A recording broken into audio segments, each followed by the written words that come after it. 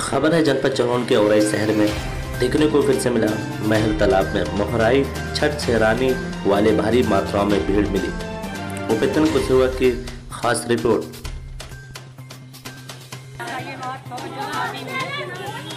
तो